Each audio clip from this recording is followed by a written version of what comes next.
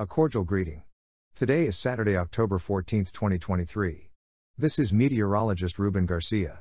In this video, I will provide an update on what is now Tropical Depression Sean and how its remnants may approach the northeastern Caribbean region during the middle of next week. Additionally, we will discuss Invest 94, which is likely to become Tropical Storm and Hurricane Tammy. It could pass dangerously close to the northeastern Caribbean. It's important for the northern Lesser Antilles and Puerto Rico to stay vigilant about its development. It is projected to pass near or over the region during the next weekend. Let's briefly discuss Tropical Depression Sean. What was once Tropical Storm Sean has once again been weakening and is now a tropical depression. This weakening is due to shearing winds and dry, stable air affecting its circulation.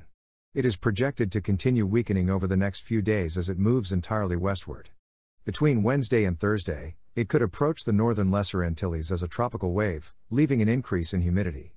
However, as indicated by the National Hurricane Center, it is already projected to dissipate into a tropical wave on Sunday morning. There is no anticipation of reorganization as it passes near the northeastern Caribbean, so we should not be concerned about tropical depression Sean in the Caribbean region. The outlook is quite different for Invest 94, which continues to show signs of cyclonic development.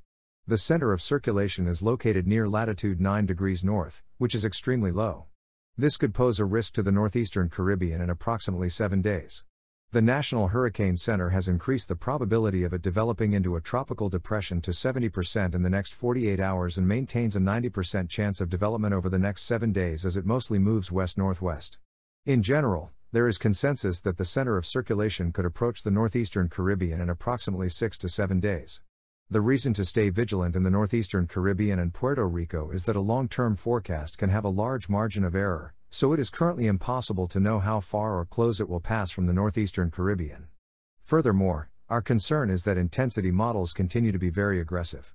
By the middle and end of next week, it could strengthen rapidly into a powerful Category 3 or Category 4 hurricane as it approaches the northeastern Caribbean and although it appears that it may pass about 50 to 75 miles northeast of the Lesser Antilles at the moment, it is close enough for us to remain attentive to its evolution.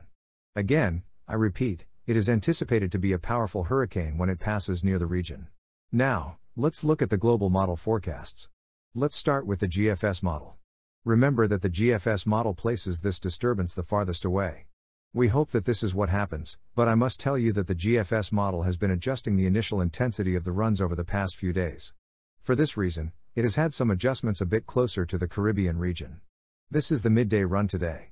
Note that the GFS model predicts that by the evening of Monday, we may possibly have a tropical depression or tropical storm Tammy. The high pressure system in the Atlantic will remain very strong, which forces a westward path at least until Wednesday or Thursday. For Wednesday or Thursday, it is anticipated that the high pressure system will begin to weaken somewhat, which could allow this future cyclone to take a more northwesterly path. The GFS model continues to project that it would pass about 300 to 400 miles northeast of the Caribbean, but it forecasts that it could be a powerful and dangerous hurricane when it passes through this area.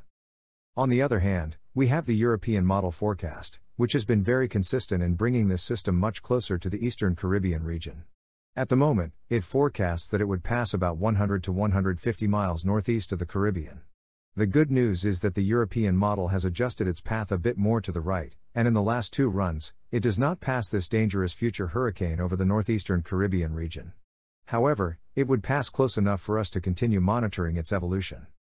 The major difference between the GFS and the European model is that the GFS model has a much slower system. For example, during Wednesday noon, the GFS predicts that Tropical Storm Tammy would be located in this area. Compare this to the forecast from the European model. The European model shows a faster translational movement, thus moving more to the west. This will be one of the factors we will be closely monitoring in the coming days. The faster it moves west, the greater the chances it will eventually reach the Caribbean. We also have the forecast from the UK model, which has a tropical storm passing over the northeastern Lesser Antilles with a very similar trajectory to the European model. However, the German model maintains a trajectory passing about 200 to 250 miles northeast of the Caribbean. The Canadian model has a trajectory very similar to the European model, affecting the islands north of the Lesser Antilles next weekend. In general, you can see that the models forecast that it could approach the northeastern Caribbean region.